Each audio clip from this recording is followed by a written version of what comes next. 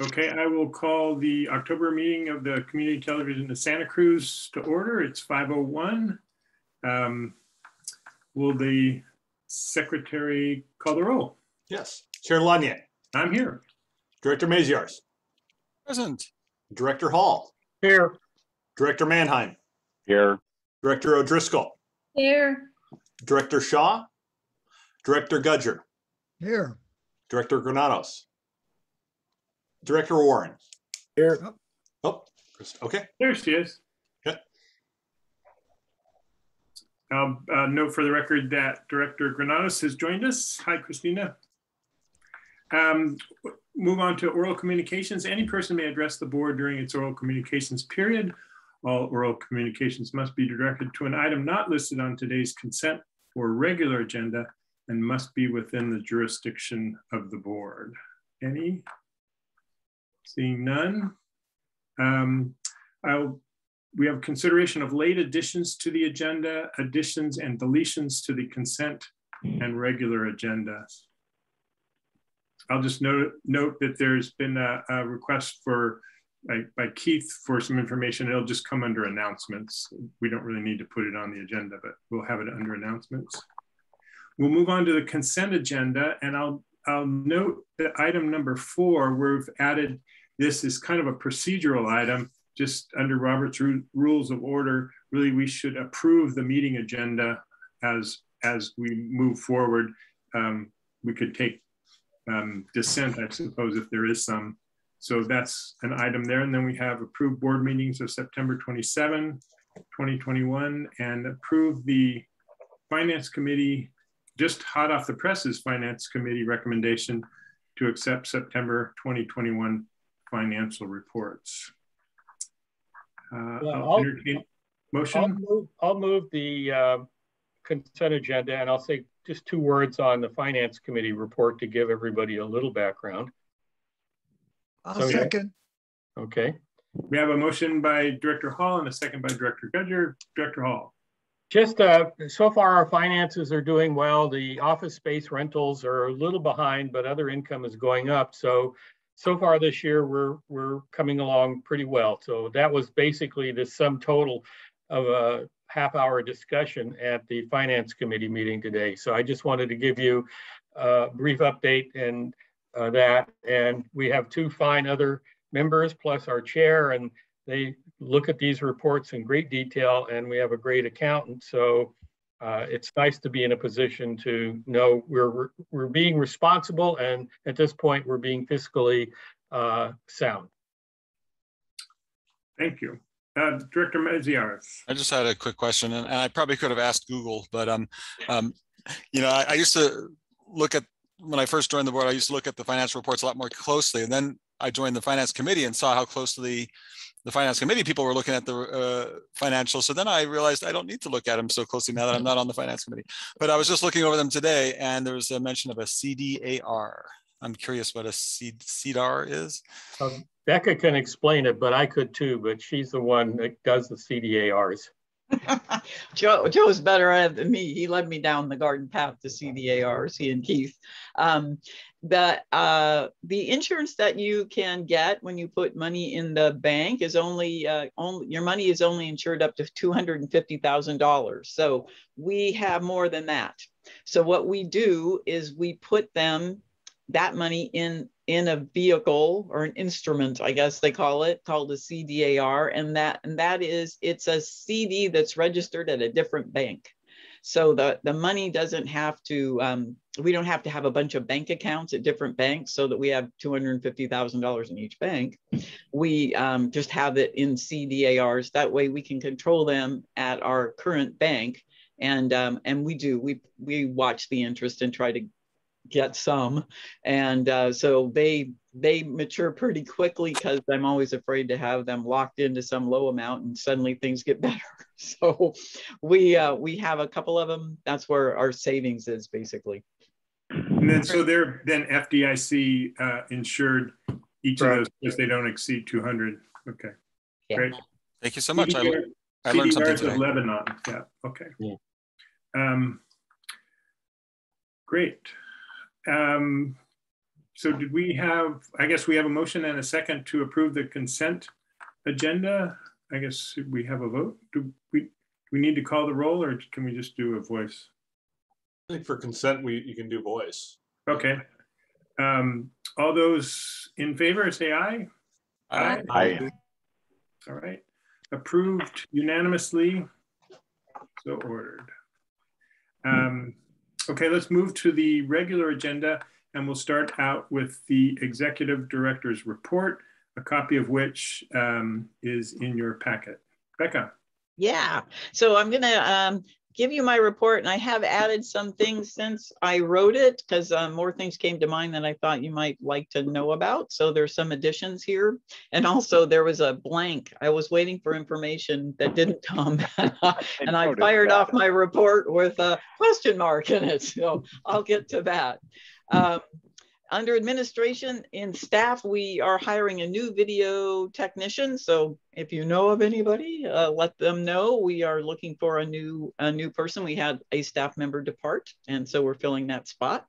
Um, we are now. It's great. We're able to do all of our government meetings, including the board of supervisors, with one operator. For a while, we were using two because the Zoom part was so tricky.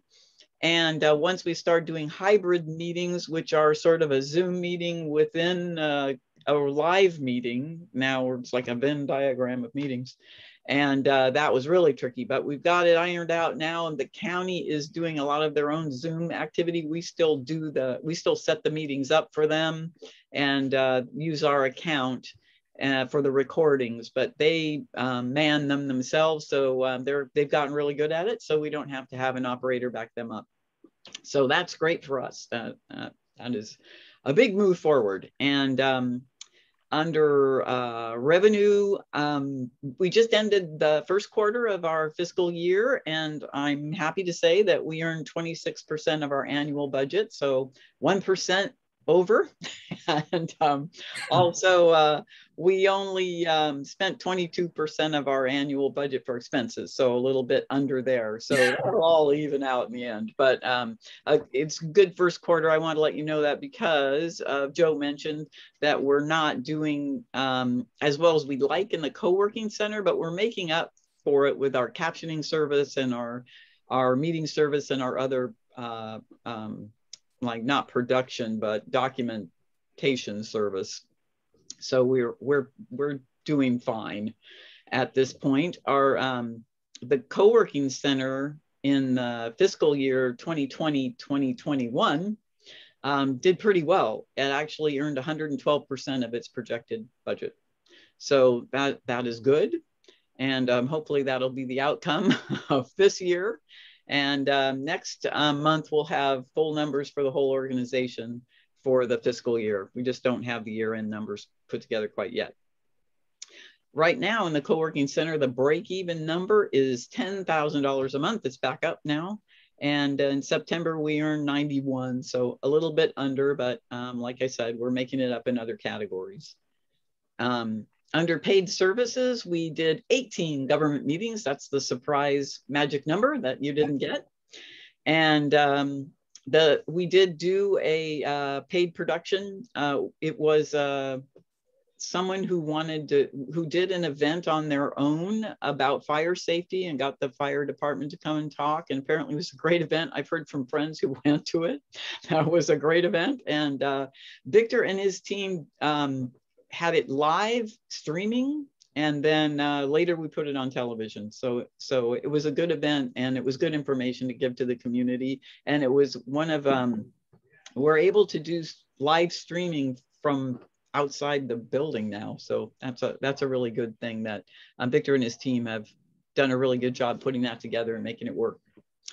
And um, things in progress that we have going on are uh, we have a fiscal sponsorship that I've mentioned before. We're getting closer on doing that. We've got all the documents ready and we're about to sign off. So that'll be a good first project for us. It's not huge and um, it's easy, it's within easy control for Mel. And, you know, this is a good beta test for us on this, make sure we have all our ducks in a row. Uh, under facilities and equipment, Um, we are working on the installation for the new telecast equipment. Most of it we have now, and we are doing weekly meetings. Uh, and we we expect to be done by the end of the year. And it's not, there's a lot of exciting stuff happening now. We're just planning. One of the things they're working on is the trends the migration, they call it, of all of the content we have now from one, um, one platform from the TelVue platform, which is Connect in the cloud, to to the new thing that we'll be using, and um, that's being coordinated now. Victor's doing most of the work, but we have other uh, another engineer backing him up. And um, they, I spoke to them about that this morning, and they they they see no problems. So um, in July, we started inspecting all of our equipment that we rent and that members use. And we've been repairing and replacing things. And now by now, by this time, it's by September, we got through all of the camera kits and all of the tripods. And we're now working on microphones. Um, and we had 30 tripods. So it's not, it sounds like we haven't done much, but there's, we have a lot of equipment. Um, under uh, building security, we've had another break-in of our storage container. Um, the burglar took a bunch of cables, probably thinking that there was copper in them. Sometimes that happens. And uh, the security company did not see it. Um, and uh, although they recorded it, but the way the cameras work, they only see a flash if somebody's moving, and to them, it didn't look like anything serious. So um, we've spoken with them and we're working on a new plan to make it, uh, to make our area more secure. We're gonna be moving around some cameras that are pointing at things that are not that important.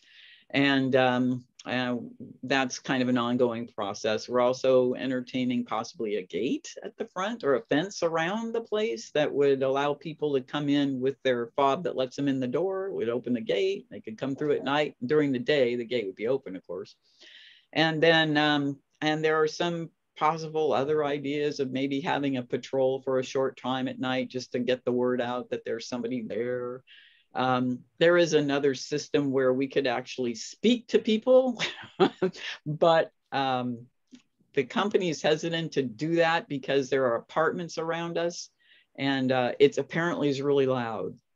So um, we are going to continue to pursue ideas, and I think we're going to talk to. Um, I'd like to talk to a consultant and just get a really good look at our building, the vulnerabilities, you know, how and and what exactly is feasible. What can we really do? Because a fence, you know, some people think that people just hop over a fence, and my thought is, it's a deterrent. People people now i think are just free to walk into our building and look around and see what there is and if they then they find something and try to take it or try to harm it and if they couldn't walk in then they wouldn't know if it'd be worth hopping over that fence Director so, I, I see Larry's hands up. Yeah, oh, I'm, I'm sorry. sorry. Yeah. Becca, was was the break-in inside the building or outside the building? Outside. We have a big. Okay, okay. I just wanted. I, I heard you say coming into the building, and I was a little confused. So it, have we have all the break-ins been outside in the storage container? It's yeah, the break-ins have been in the storage container. We did have a trailer that was parked back there that was one of our employees had a grip truck that was parked back there and that was broken into. But nothing and, inside everything's been outside physically. Yeah, they've never been able to get in, but they have caused okay. plenty of damage outside. Not only that, but they've broken into our fiber connection. They broken into our electrical box. They took the battery out of our generator. They turned off the water to the building. Then they turned on water and just let it run all night. So there's lots of mischief uh, in addition to theft. Thank you. But, um, and um, so we're, I'm going to continue to work on that and, and I'll keep you apprised as we go forward. And you'll probably have to vote on some of the things. So um, there, nothing's happening yet um, you'll certainly be involved. Um, we had more uh, loss this month as um, we had a local nonprofit rented some equipment for an event, and the event turned out to be in not a very safe place. And um, I guess traditionally it was, but things changed as the homeless camps moved around, and um, all the equipment she rented was taken. And so um, uh, that that organization, I've been working with them, and they will pay for the equipment. And then uh, we also one of our youth grants. Um, someone stole 12 of the 25 iPads that um, we lent them, and uh, they will pay for those as well. So um, uh, we'll we haven't lost anything, but it's just kind of sad that those things happened. And uh, all that equipment has been replaced. We went ahead and replaced it, and um, we'll be paid back for it soon. Director Um, Laurent has a question again. Yeah, sorry. This this happens to hit a little close to home here too. Um, so do we do you have anything on the iPads to um, any software to disable their use, or because these are grant ones, we don't do things. We don't like do Well, asset. I investigated that with Apple with having something like that on them. They have Find My iPad on them. But um, the real heavy duty, like wipe them clean from a distance stuff is just way expensive and very intricate and takes almost another person to run it. And I, when I. yeah, very I much so. them- I just didn't know. I mean, I think if they're if they like we have them for internal things, but I think with the grant stuff, it could be a little difficult. It uh, is, it is. The one thing that we have that we did was the iTunes, the the iPads don't have anything on them. There's no no cool stuff except for uh, they have iMovie on them, which is a free app. But um, to get anything else on, you need to have the Apple ID, and they're and they have an Apple ID, and I just changed it. So Apple knows they're owned by somebody else. So, but you know, they're probably they will they were probably hacked. I could tell that they never came on because my iPad will tell me someone just turned on your iPad in Gilroy or whatever. And so I know. So I think they quickly were spirited out of the county and somebody probably hacked them and cleaned them off. But um, yeah, we don't have a lot of recourse there to track them down, sadly. We have uh, Find My iPad, but that's it. Um, so the last thing on uh oh i've got a couple of things there's the last thing on the uh the uh report that you have from me is uh outreach and we did uh kind of a synopsis report to the county about our youth grant program because um we've added a couple of parts to it and um there are some new uh, board of supervisors members, some new supervisors that didn't know about the program. So we put together a document to tell them what we're doing and how how it evolved. And then we also, I met with Digital Nest a couple of times because they're interested in a new grant, but our studio grant as it was doesn't seem to be relevant now. So I'm talking to them about what kinds of things they do with the equipment and what kinds of productions they're trying to do and maybe um, changing uh, the things, the pieces in that grant. I'm going to talk to some other, I'm going to talk to Joel Domhoff and uh, also Watsonville High School. There's a new teacher there and see how they're using it and what they could use because I think it's five years, you know, stuff changes and we should just be reviewing that and make sure that the grant is really helping kids get jobs in the future. We don't want them to work with equipment that doesn't make sense.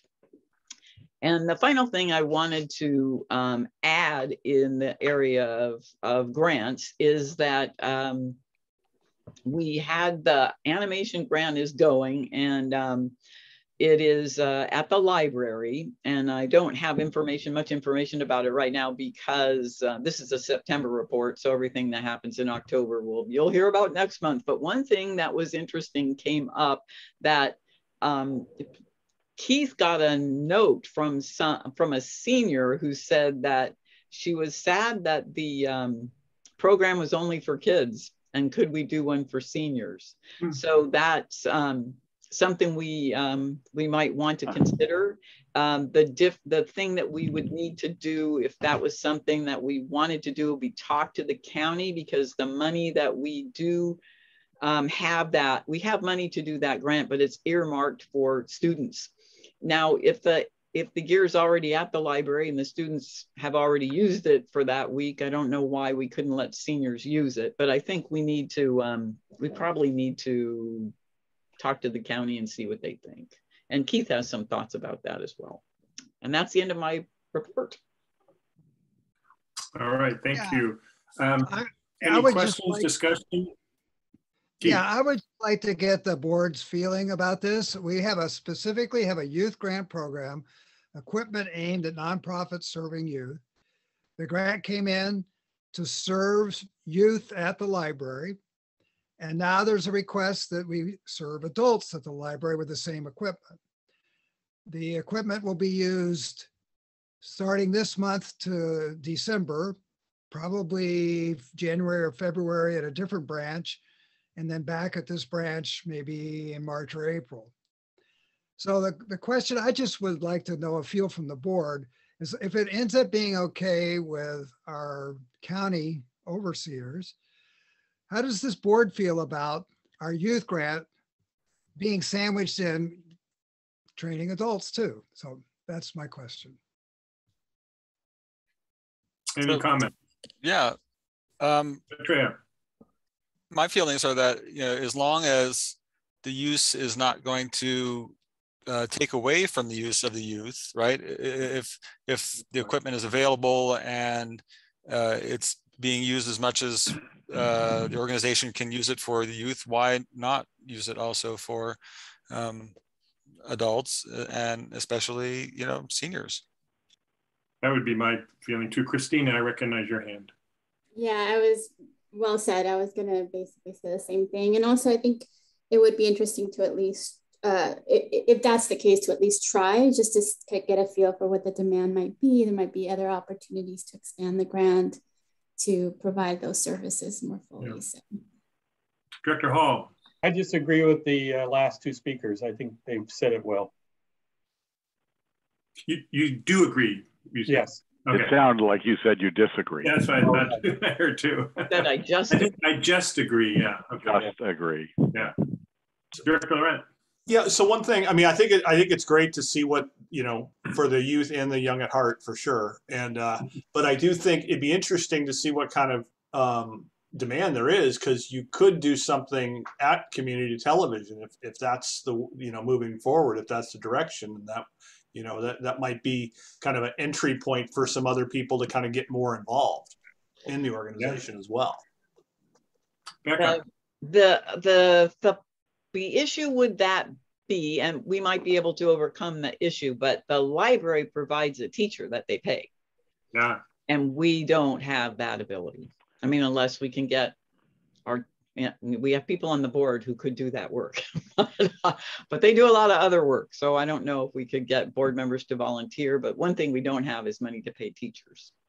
Director Manheim, Um, I think it'd be worth talking to our county um, folks and see if they would, if given we have, we've had the youth grant program now for, I'm gonna guess it's been four or five years. Five years. And, and the first two years we had applicants, but there are only a limited number of organizations that can take on that role of both, you know, managing the equipment and providing the training. That we, we could talk with them and see if they would, how they would feel about changing that grant to be both a, a, because it's, it's always been um, youth organizations or educational organizations and maybe add libraries into that as another um, sort of organizational institutions within the county that have the capability of both managing equipment and providing some training. And so that they become, the library or, um, systems become uh, an- a part of the program. Because there's a lot of money building up in that program right now. Right.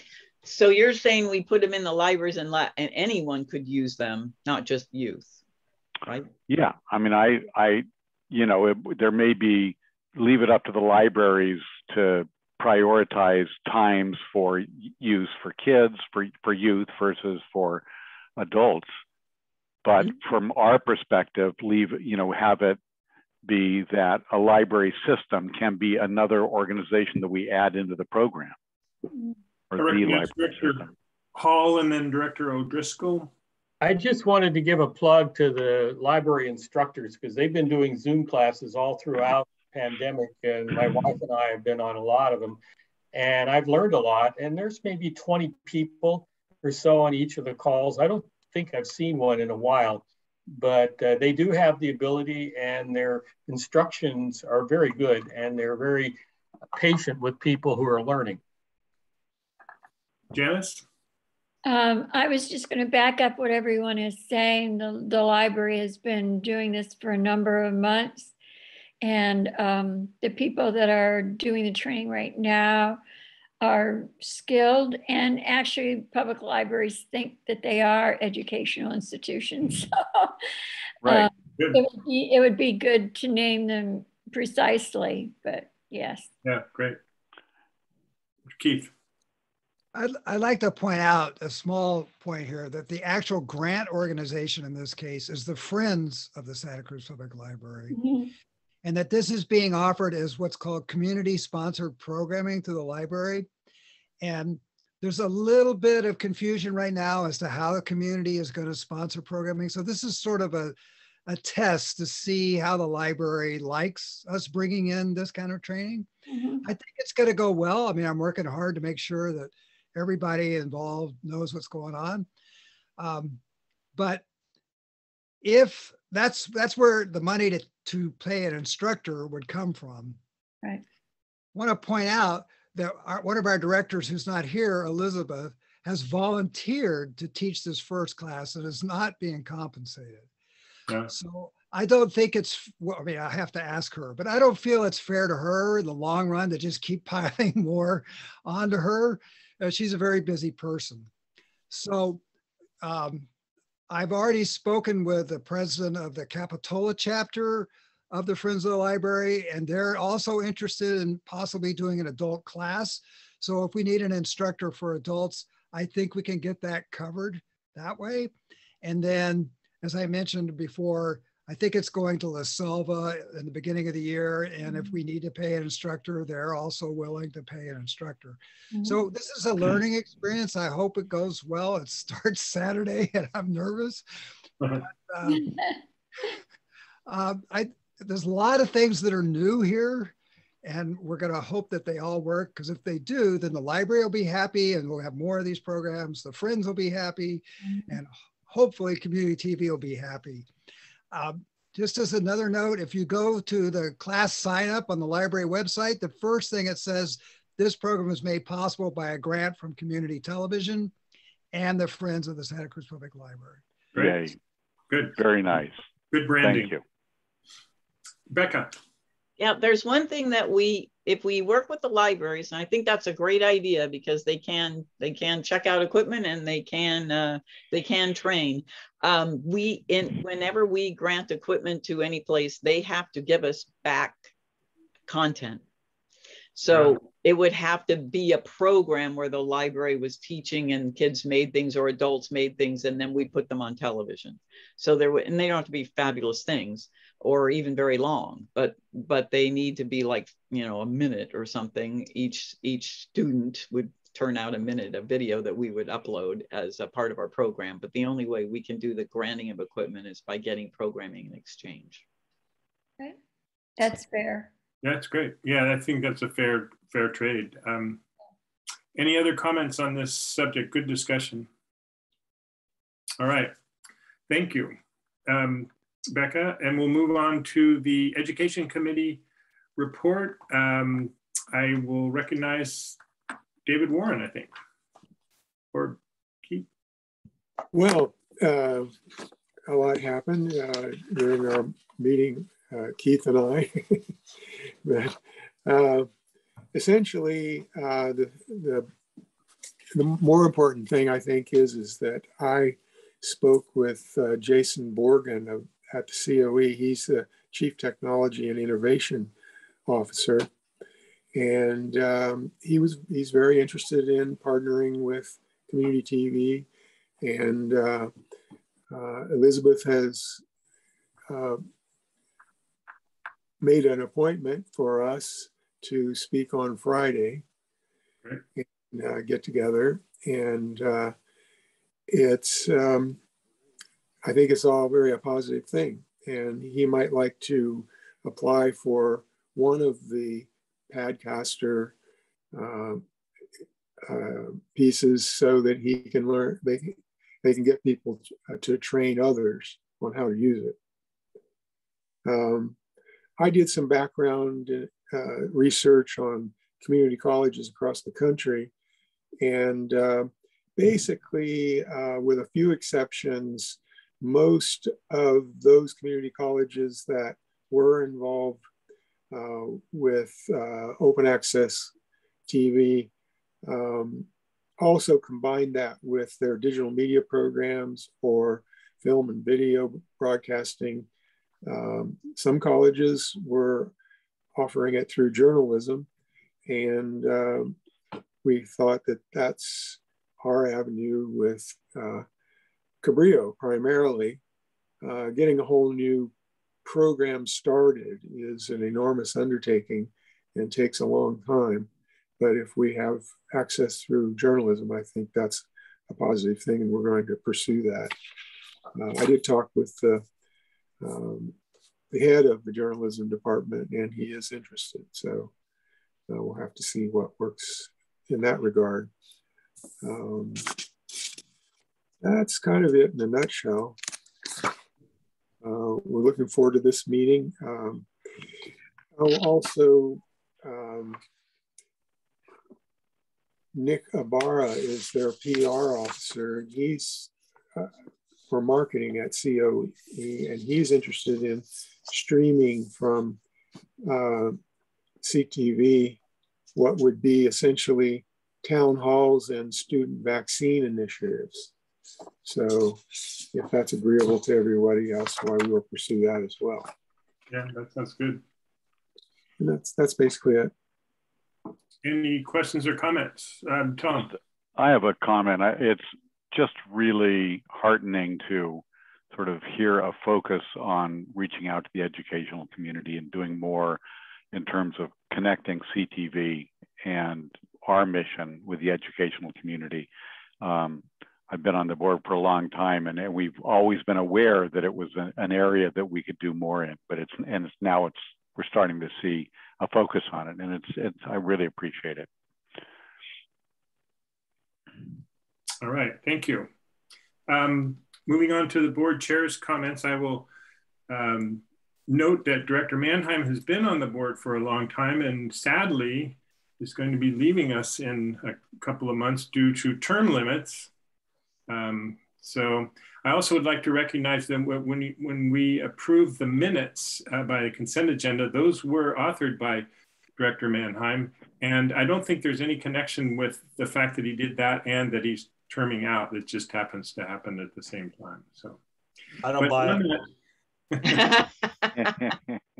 on that note, um, we uh, do have um, an interested party in um, returning to the board after a year away. And we're also have an open spot. Um, so our next uh, meeting will be confirming some new board members, re-upping basically some board members and um, we bringing on a, no, a, new board member. And I think there is an open spot in that large position. If anyone knows of somebody who might be a good fit and be interested, um, let I guess me and Becca know and we can pursue that. That's the, the gist of my report. Um, any staff requests or board member requests for specific items to appear on the next meeting agenda? So we will be talking about board people next time. Um, announcements. Uh, Keith, I believe you have an announcement. Yes, um, Becca uh, handled one of the announcements I had about the fact that adults were interested in the program, which was great. Uh, a couple other things I want to mention is that we did a nonprofit spotlight on the Friends of the Santa Cruz Public Library. And our director, Janice, was the star of the show. Yay. And I'm able to report that uh, the board of the Friends is very happy with the results. In fact, a board member asked me to come back and excerpt a two minute section they could use for their capital campaign that's ongoing right now. Excellent. So I was happy to do that. Uh, we, we're hoping to get another organization for another nonprofit spotlight this week. And we're trying to schedule with Faris Sabbah an elected spotlight. that we're going to kind of morph. It's, Becca's going to run it as elected spotlight, but hopefully it'll sort of prime the pump for um, doing some other education related uh, shows, maybe education spotlight, maybe something else, but um, we hope to get that done. We were supposed to do that Wednesday, but he had to cancel, so sometime next week. Um, and that's that's the announcements I have. Thanks. Great. Thank you much. Uh, Director Maziarz. Yes, um, maybe I should have asked during Becca's report, but uh, so I- I'm just curious about the status of the studio in terms of uh, members, volunteers. Uh, you didn't have a report of the volunteer advisory committee, and and I know I think last time you mentioned that there was not a whole lot of interest. There was some interest in some producers of in getting back into the studio. What's the current status on that, if I may ask at this time? Are you Asking asking Becca or or? Keith? Uh, well, Keith, are you, aren't you the volunteer advisory committee uh, chair? Uh, or but if either wants to answer, I'm just kind of curious. Well, it sounded, I mean, I, from what I understand, is the state no longer has tiers listed. Is that true? But the CDC does, and I, I believe we're still in the orange tier for CDC. So we're going to use that as our requirement. We got to be in yellow before the studio's open. And yes, uh, Richard and Phil both want to come back, um, but hopefully uh, they'll understand that we're not ready to do that just yet. Well, I, I thank you for keeping the lights on, you and Becca with the uh, the in-house programming, the elected spotlight, and um, glad those have continued to go to to go on during this crucial time. Indeed. All right, well, thanks, everybody. Um, Any other final comments, observations? Um, Anything? I'll entertain a motion to adjourn. So moved. All right, Director Mannheim, I'll second that. Okay. I think I got uh, Matreon second there. All right, all in favor? Hi. Bye. Aye. Bye. Thanks, everyone. Thank Good- you. Good discussion. Bye-bye. See you next month.